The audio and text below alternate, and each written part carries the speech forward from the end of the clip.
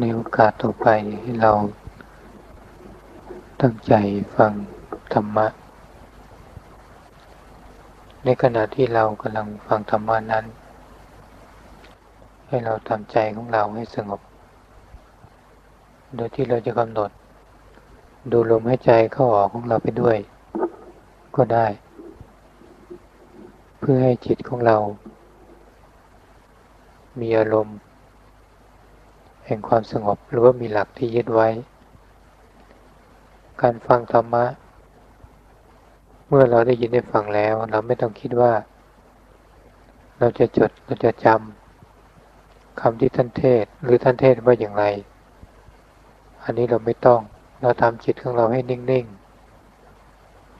ให้เสียงที่จะมาพูดนี่เข้าไปบันทึกไว้ภายในใจของเรา เหมือนกับว่าเราเปิดเทปเมื่อมีเสียงเข้าไปเทปก็อาจบันทึกไว้ เพราะฉะนั้นในโอกาสต่อไปให้พวกเราตั้งใจทำใจของเราให้สงบ การที่พวกเราได้มีโอกาส มาประพฤติปฏิบัติมาบำเพ็ญภาวนาสแสวงหาความสงบ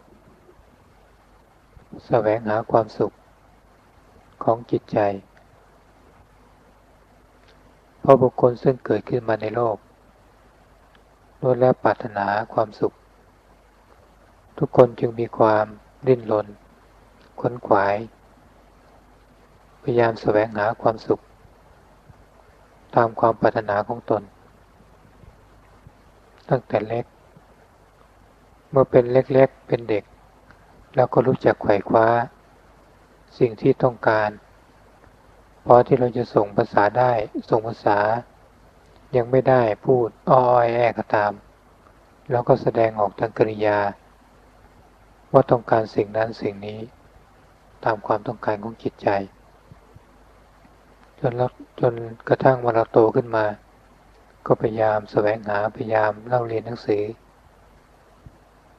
ให้มีความรู้มากที่สุดเท่าที่จะมากได้ เพราะว่าเมื่อมีเรามีความรู้ดีเราก็มีการงานดี ก็เกิดความสุข เราก็ได้เงินเดือนมาก ๆ ก็เกิดความสบายใจ แต่แล้วเมื่อเรามีทุกสิ่งทุกอย่าง เมื่อเราได้ทุกสิ่งทุกอย่างมาแล้ว จิตใจของเรานั้น ก็ยังมีความทุกข์อยู่อีก จิตใจของเราก็ยังไม่มีความสุขตลอดไป สิ่งทั้งหลายซึ่งเป็นโลก ก็ยังจะมาทำให้ใจของเราเป็นทุกข์เพราะมันมีเรามีลาบแล้วมีความสุข แต่เมื่อลาบนั้นเสื่อมไป ใจของเราก็เป็นทุกข์บางครั้งเมื่อเรามียศแล้วยศหมดไป เสื่อมสิ้นไปใจก็เป็นทุกข์ มื่อคนอื่นเขาสริญเสริญเราเราก็มีความสุขสบาย แต่เมื่อคนอื่นเขาดินทาเราเราก็เป็นทุกข์เพราะฉะนั้นโลกธรรม คือมียศ มีลาบ มีสุขแล้วมีสรรเสริญ อันนี้เป็นของไม่แน่นอน บางครั้งก็เกิดความเสื่อมลาบเสื่อมยศ มีดินได้รับความนินทาหรือว่าได้รับความทุกข์ โลกก็เป็นอยู่อย่างนี้ ก่อนที่เรายังไม่ได้มาเกิด โลกก็เป็นอย่างนี้ เราเกิดขึ้นมาแล้วทุกคนก็มาได้รับสิ่งเหล่านี้จากโลก หรือว่าเราตายไปแล้วคนรุ่นใหม่มาเกิด ก็จะเป็นอย่างนี้อีก ไม่มีอะไรเปลี่ยนแปลง โลกนี้ก็เป็นอยู่อย่างนี้เป็นโลกเก่า แม้ว่าจะเป็นวันปีใหม่ จะแปลเปลี่ยนไปนั้นก็เป็นเรื่องของสมมติขึ้นมา แต่แล้ววันคืนก็เป็นวันเก่าๆนั่นเอง คือมีการ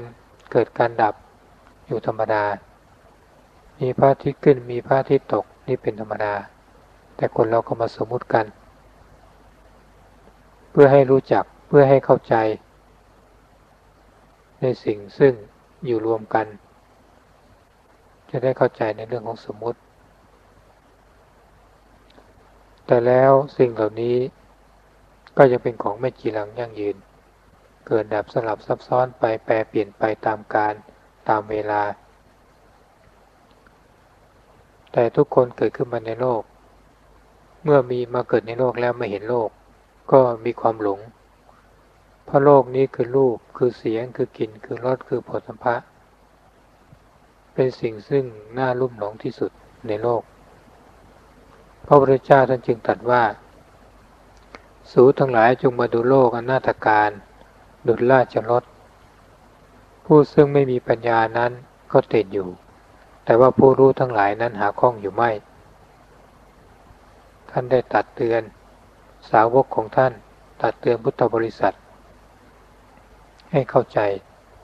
เราเห็นว่าราชรถของพระราชา มีความตะการน่าตะการมาก น่าดูน่าชมเพราะฉะนั้น คนใดที่ม่เห็นราชรถหรือว่า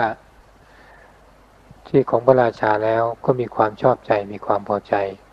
โลกนี้ก็เหมือนกัน โลกนี้คือรูปคือเสียงคือกลิ่นคือรสคือผลธรรมะทั้งหลาย อันน่าพอใจปรารถนา ซึ่งส่วนมากแล้ว คนซึ่งเกิดขึ้นมา ไม่มีปัญญาก็มีความคล่องอยู่ แต่ว่าพระพุทธเจ้าของเราท่านไม่คล่องแล้ว ท่านก็ได้ตัดเตือนสาวก ให้พยายามประพฤติปฏิบัติตามท่านไป เพราะฉะนั้นเมื่อเราอาศัยอยู่ในโลกเราก็พยายามทำปัญญาของเราให้เกิดขึ้นบ้าง อย่างพวกเราได้มาสถานที่นี้ก็เรียกว่า ดวงปัญญาของเราค่อย ๆ เกิดขึ้นแล้ว ปัญญาคือความสว่างสวัยเกิดขึ้นภายในใจของเรา เพราะว่าเราได้เสียสละความสนุกสนาน เสียสละความเพลิดเพลิน อันเป็นทางโลก เราได้ตัดกระแสออกไปจากจิตใจของเรา แทนที่เราจะคิดไปเที่ยวที่นั่นที่นี่ คิดไปแสวงหาความสนุกสนานในสถานที่ต่างๆ ในเมื่อเรามีโอกาสมีเวลา แต่เราก็กลับไม่ทำเช่นนั้น เรากลับมาแสวงหาความสงบ อันเป็นความสุขของจิตใจ เป็นความสุขในด้านของธรรมะ อันนี้เรียกว่าใจของเราพอมีปัญญา พอเห็นความวุ่นวายในโลก ว่าสิ่งเหล่านั้นไม่เป็นสาระไม่เป็นแก่นสาร เราจึงได้มุ่งมั่นมาสร้างสมอบรมบุญบารมีความดีของเรา ได้เดินทางมาที่สำนักสุภัททบรรพศเมื่อเรามาอยู่ในสถานที่สงบ จิตใจของเราก็พลอยสงบไปด้วย ไม่วุ่นวาย ไม่เดือดร้อน ไม่คิดไปถึงนั่นถึงนี่ไม่คิดสงสัยออกไป จิตมีความพอใจมีความยินดีในความสงบนั้น อันนี้เรียกว่า ใจของเราเริ่มมีปัญญาขึ้นมาแล้ว จึงได้ทำทาน คือเสียสละความสนุกสนานนั้นออกไป จึงมาสู่สถานที่นี้ได้ เมื่อเรามาอยู่เรามาบำเพ็ญภาวนาในสถานที่นี้ เรามีความสงบระงับด้วยกายด้วยวาจา จิตใจของเราก็เป็นศีล มีการสำรวมระวังกายวาจาอยู่เสมอ เมื่อเราสงบกายสงบวาจา ใจของเราก็พลอยสงบไปด้วย ปัญญาของเราก็เกิดสว่างสวายขึ้นมาอีกมากขึ้น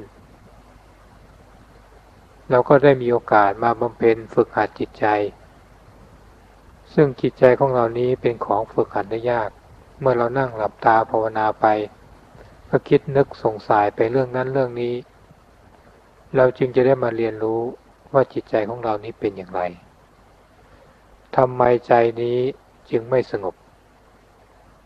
เราต้องการความสงบต้องการให้ใจอยู่นิ่งๆทำไมจิตของเราใจของเราไม่อยู่นิ่ง เพราะว่าเราไม่ได้ฝึกไม่ได้หัด เราปล่อยจิตปล่อยใจของเรามาหลายสิบปี เป็นสิบปียี่สิบปีสามสิบปี สี่สิบปีห้าสิบปีนี่เราไม่ได้เอาใจของเรามาฝึกหัด เราฝึกหัดแต่ให้ใจของเราคิด เพื่อจะได้ให้เกิดปัญญา เราต้องคิดนั่นคิดนี่คิดสร้างคิดสรร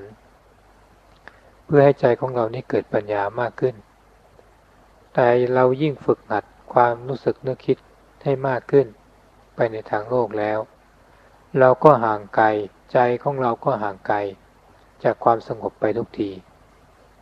เรายิ่งแสวงหาโลกมากขึ้น เราก็ห่างไกลจากธรรมมากขึ้นเท่านั้น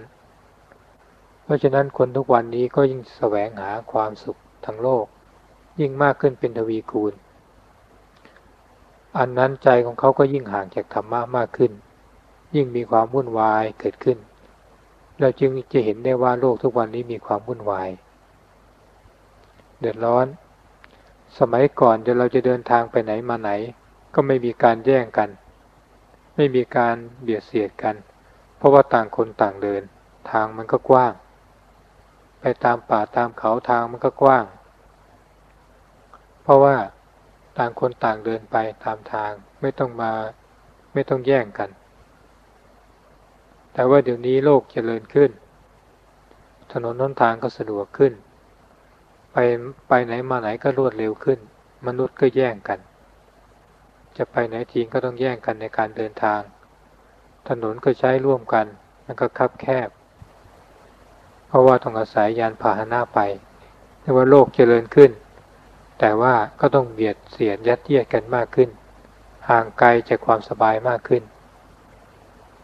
แต่ก็สะดวกอยู่ แต่ว่ามันก็ห่างไกลจากความสบายของจิตใจ เพราะฉะนั้นในสถานที่ใดซึ่งมีความเจริญ สถานที่นั้นก็มีความเสื่อม อย่างว่าที่กรุงเทพนี่มีความเจริญมาก แต่ไปไหนมาไหนก็มีความลำบาก เพราะว่าคนมันก็มากเหมือนกันที่นั่น เพราะใครๆก็อยากจะไปอยู่ในสถานที่เจริญนั่นเอง เพราะฉะนั้นเราเห็นได้ว่า โลกนี้เจริญขึ้น ก็เท่ากับว่าโลกนี้กำลังเสื่อมคำว่าโลโกคือโลกเจริญก็คือความมืดเจริญ เมื่อความมืดเจริญ ความเสื่อมก็เกิดขึ้นมา อย่างใจของเรานี้ก็เหมือนกัน ถ้าเกิดว่าใจของเราเจริญไปในทางโลก คือว่าใจของเราเสื่อม แสงสว่าง ของใจก็น้อยลง จิตใจของเราห่างจากธรรมะมากขึ้น ทุกวันนี้มีเรียกว่า จะแสวงหาความสนุกสนานจากรูปจากเสียงจากกลิ่นจากรสนั้นได้มากขึ้น แสงสีต่างๆมากขึ้น สิ่งเหล่านี้ก็ปิดล้อมจิตใจของเรา ให้ลุ่มหลงหรือว่าให้มัวเมามากขึ้น โอกาสที่เราจะไปเข้าวัดฟังธรรมบำเป็นภาวนานั้นก็ยาก เราจะเห็นได้ว่าคนสมัยก่อนนั้น เมื่อมีอายุพอสมควรหรือว่าถึงการถึงเวลาเข้าพรรษา ก็จะมุ่งหน้าไปที่วัดไปทำบุญทำทาน ไปแสวงหาความสงบสุขทางจิตใจ เพราะว่าเขามีโอกาสมีเวลา อย่างเมืองไทยเมื่อก่อนก็มีวันหยุด ก็ตรงกับวันพระ แต่ทุกวันก็เปลี่ยนแปลงพัฒนาขึ้นให้มันทันสมัย หยุดตรงกับเสาร์อาทิตย์ขึ้นมา นี่เรียกว่าห่างไกลจากความเป็นจริงขึ้นมาเรื่อยๆ เพราะฉะนั้นพวกเรานั้น ซึ่งว่าเป็นผู้ซึ่งพอที่จะเห็นโทษเห็นภัย ในการซึ่งจิตใจของเราวุ่นวาย เดือดร้อน เห็นโทษเห็นความวุ่นวายของใจซึ่งไม่สงบ จึงได้มาพยายามบำเพ็ญภาวนา จึงได้มาพยายามทำใจของเรานี้ให้สงบ ก็เพื่อให้ใจของเรามีกำลัง จะต่อสู้กับสภาพแวดล้อม ต่อสู้กับรูปกับเสียงกับกลิ่นกับรสทั้งหลาย ไม่ให้มากุ้มรุมจิตใจของเรา ให้ใจของเรามีโอกาส มีอิสระภาพขึ้นมา เมื่อเรามีทานมีศีลมีภาวนาพยายามรวบรวมกำลังใจของเรา ซึ่งมีความวุ่นวายเดือดร้อนนั้น ให้มีความสงบ ตัดความทะเยอทะยานอยากทั้งหลายให้สั้นเข้าให้น้อยเข้า จิตใจของเราก็จะได้หันกลับมาสู่ธรรมะ หันกลับมาประพฤติปฏิบัติธรรมะแสวงหาธรรม เพราะว่าการแสวงหาธรรมนี้เป็นการแสวงหาที่ประเสริฐที่สุด ราะว่าคนเราเกิดขึ้นมาในโลก พยายามแสวงหาทรัพย์สมบัติแสวงหาชื่อเสียงเกียรติยศขนาดไหนก็ตาม มีทรัพย์มาก มีลาบมาก มีสันเสริญมาก มีปัญญามากขนาดไหนก็ตาม แต่ทุกคนล้วนแล้วแต่ว่าจะต้องแก่ ต้องเจ็บ และก็ต้องตาย จะต้องจากโลกนี้ไป ทุกคนไม่เว้น เพราะฉะนั้นนักปราชญ์ผู้ซึ่งมีปัญญา ท่านจึงพยายามแสวงหาธรรมะ แสวงหาความสุขที่แท้จริงให้กับจิตใจ เพราะว่าแม้ว่าเราจะมีหน้าที่การงานทำมีความรู้แล้ว แต่ทำไมใจของเราไม่สงบทำไมใจของเราเมื่อคือคนอื่นเขาว่าเราทำไมเราจึงมีความทุกข์อยู่อีก เมื่อคนอื่นเขานินทาเราทำไมใจเราเป็นทุกข์ เมื่อเรามีลาบทำไมเมื่อเสื่อมลาบใจเราเป็นทุกข์ เสื่อมยศทำไมใจเราเป็นทุกข์ เมื่อร่างกายสังขารนี้แปรเปลี่ยนไปทำไมใจเราเป็นทุกข์ เพราะว่าใจของเรายังไม่มีปัญญา เพราะว่าเรายังไม่แสวงหาปัญญานั่นเอง ถ้าเกิดว่าเราพอมีทรัพย์พอสมควรแล้ว มีหน้าที่การงานพอสมควร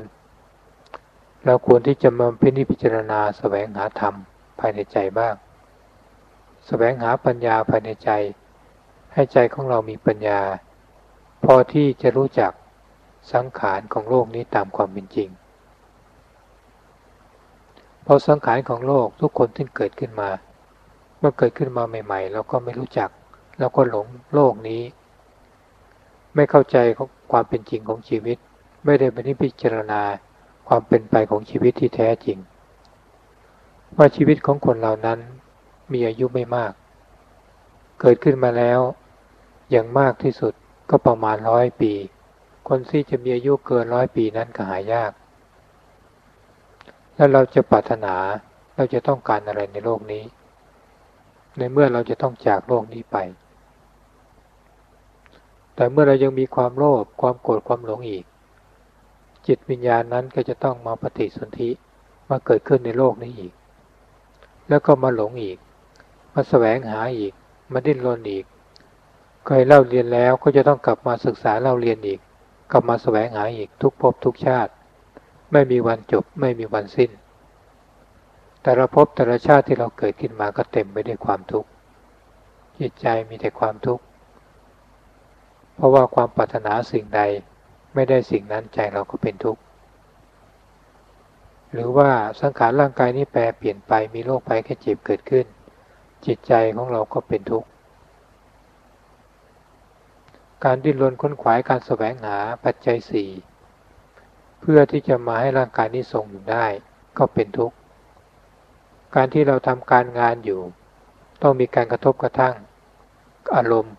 กับผู้บังคับบัญชา หรือเราเป็นผู้บังคับบัญชาก็จะต้องมีอารมณ์เสียกับลูกน้อง อันนี้ก็เป็นทุกข์ สิ่งเหล่านี้เกิดขึ้นมาได้ มีได้ก็เพราะว่าเราเกิดขึ้นมาในโลกนี้นั่นเอง แต่แล้วเราก็ยังมีความพอใจมีความยินดี เราก็จะต้องเกิดเกิดตายตายเวียนว่ายตายเกิด ไม่รู้จักจบจากสิ้น องค์สมเด็จพระสัมมาสัมพุทธเจ้าท่านตรัสว่า บุคคลซึ่งเกิดขึ้นมาในโลกนี้นั้น นับพบนับชาติไม่ท้วน ความเสียใจความทุกข์ใจ เพราะว่าพัดพาดจากของรักของชอบใจก็ตาม น้ำตาซึ่งเราร้องไห้นี้มาก รวมกันแล้วมากกว่าน้ำในมหาสมุทรอีกเราจึงจะเห็นได้ว่า เราเกิดขึ้นมานั้นมีความทุกข์มีความไม่สบายใจนั้นมากต่อมาก บางครั้งเราจะมีความรู้สึก ไม่พอใจบุคคลใดบุคคลหนึ่ง จิตใจของเรามีความทุกข์มีความเดือดร้อนวุ่นวาย มีความโกรธมีความพยาบาท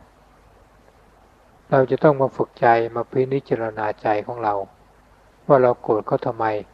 เราพยาบาทเขาทำไมในเมื่อทุกคนต้องการความสุขไม่ต้องการความทุกข์แม้เราเองก็ไม่ต้องการให้คนอื่นมาเกลียดเรา มาพยาบาทเรา มามุ่งร้ายต่อเรา เราก็ไม่ควรจะไปโกรธคนอื่นเขาแม้ว่า คนอื่นเขาจะทำอารมณ์ให้หน่าโกรธขนาดไหนก็ตาม เราจะต้องพยายามพิจารณา เพื่อที่จะให้เกิดการอภัยแก่บุคคลอื่นได้ เหมือนกับว่าพระพุทธเจ้าของเรานั้น เมื่อพระเทวทัตได้มุ่งร้ายพระองค์ ได้พยายามรอบฆ่าพระองค์ขนาดไหนก็ตาม แต่จิตใจของพระองค์ก็ยังมีมีเมตตาต่อพระเทวทัตไม่ถือโกรธไม่ถือพยาบาท มีจิตใจรักพระเทวทัตเช่นเดียวกับรักพระราหุลซึ่งเป็นบุตรของท่าน เพราะฉะนั้นพระพุทธเจ้าของเรานั้น จิตของท่านเป็นพุทธะแล้วเราก็ต้องพยายามประพฤติปฏิบัติทำใจของเราให้เกิดพุทธะ ขึ้นภายในใจของเรา เกิดความสว่างขึ้นภายในใจของเราไม่โกรธใคร ไม่พยาบาทใคร พยายามพินิจพิจารณาจิตใจของเราเรื่อย เป็นบุคคลซึ่งว่าไม่ประมาท พยายามตั้งจิตตั้งใจอบรมคุณงามความดี เพื่อให้ใจของเรามีความสุขมากขึ้นอย่างปีใหม่ที่มาถึงนี้ทุกคนก็ตั้งใจแล้วว่า จะสร้างความดี จะสร้างความสุข จะสร้างความสบายให้แก่จิตใจ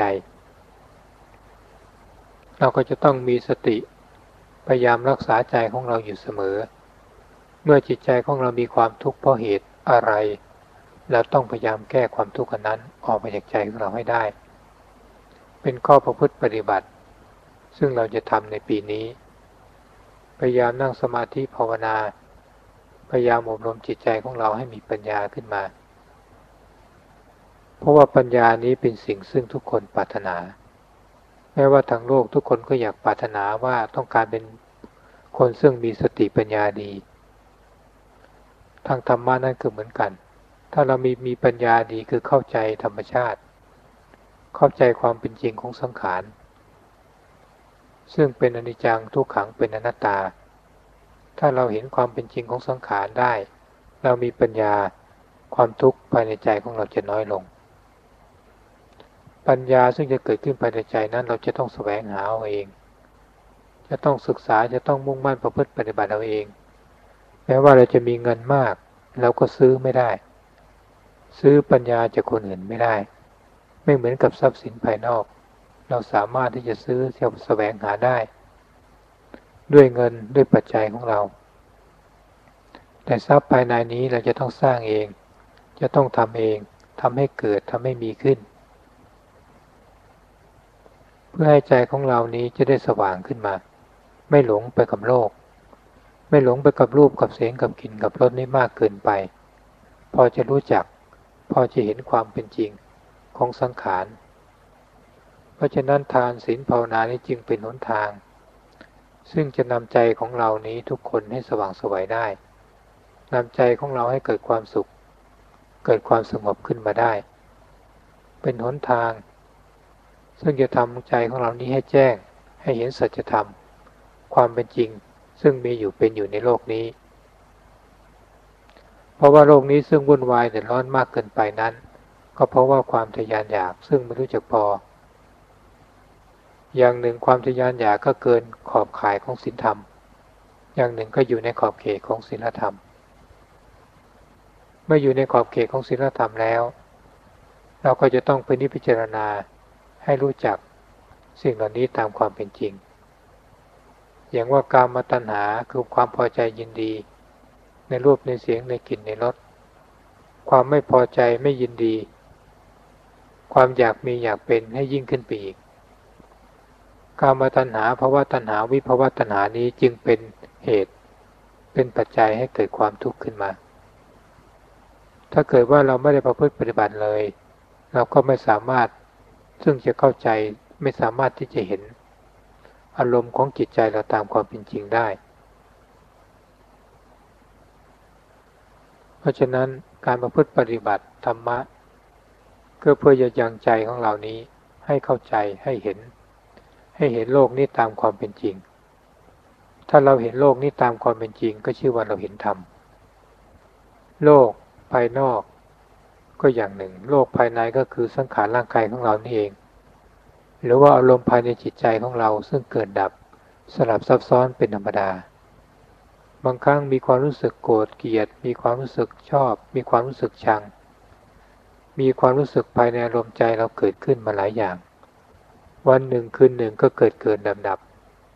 ถ้าเราเห็นความรู้สึกนึกคิดซึ่งเกิดเกิดดับดับนี้ตามความเป็นจริงแล้ว ก็เรียกว่าเราเห็นโลก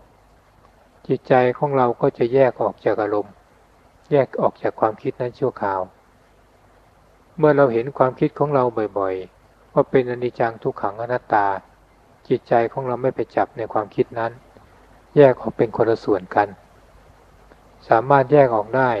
ที่เป็นคนละส่วนกันเหมือนน้ำกับน้ำมันซึ่งไม่จับกัน เราก็สามารถเห็นโลกได้ตามความเป็นจริง หรือว่าสกลกายของเราถ้าเราแยกแยกออกมา ให้เห็นเป็นผมขนเล็บฟันหนัง ให้เห็นเป็นธาตุเห็นเป็นขัน ให้เห็นเป็นของไม่สวยไม่งามเป็นอนิจจังทุกขังอนัตตาได้ เป็นความว่าง จิตใจของเราก็จะมีปิติมีความสุข เพราะเราเข้าใจธรรมชาติความเป็นจริงของสังขาร คือเราเห็นโลกตามความเป็นจริงนั่นเอง จิตใจเราจะมีความสุขขนาดไหน ขนาดว่าเราประพฤติปฏิบัติ เราพอจะอย่างรู้พอเข้าใจ สัจธรรมความเป็นจริงขึ้นมาบ้าง ใจของเราก็มีความว่าง มีความสว่างสวย ก็มีความสุขขนาดนั้น ถ้าจิตใจของเรายิ่งทำความสงบมีสมาธิธรรม มีปิติอยู่ทั้งวันทั้งคืนเป็นส่วนมาก เราลองคิดดูสิว่าเราจะมีความสุขขนาดไหน ความสุขนี้ไม่ได้อิงอามิตร เป็นความสุขซึ่งปราศจากรูปปราศจากเสียงปราศจากกลิ่นปราศจากรสปราศจากผลทั้งพ้าทั้งหลาย ก็มีความสุขภายในใจของเราได้ เพราะฉะนั้นมนุษย์ซึ่งแสวงหาความสุขภายนอกมากเท่าไหร่ก็ยิ่งจะห่างไกลความสุขภายในใจมากเท่านั้น ถ้าเราพยายามแสวงหาความสุขภายในใจแล้ว ก็จะเป็นความสุขที่นิรันดรได้ เป็นความสุขซึ่งจะเป็นไปเพื่อความสงบเย็น เป็นความร่มเย็นแก่จิตใจ การประพฤติปฏิบัติการแสวงหาในด้านธรรมะนั้นจึงเป็นสิ่งที่สำคัญ ขอให้พวกเรานี้อย่าละเลยพยายามตั้งใจ ฝึกขัดประพฤติปฏิบัติ ตลอดปี 2530 จิตใจของเราจะได้สว่างสวัยจิตใจของเราจะได้ห่างไกลจากโลกบ้างบางส่วน จะได้มีธรรมะ เข้ามาหาธรรมะเข้ามาหาความเป็นพุทธะภายในใจ จิตใจของเราก็จะดีงามขึ้นมาทีละเล็กทีละน้อย จนมีความสว่างสวยมีความปิติมีความสุข ยิ่งเราประพฤติปฏิบัติเห็นสัจธรรมความเป็นจริงด้วยแล้ว ยิ่งจะมีความสุขลึกล้ำมาก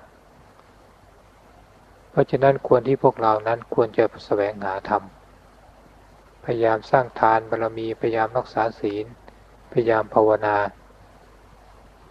เราก็จิตใจเราจะก้าวหน้า พรที่ดีที่สุดของพระนั้น ก็คือคุณงามความดีของพวกเราที่ทำแล้วนั่นเอง จะเป็นพรที่ดีจะเป็นเครื่องชักนำใจของเรา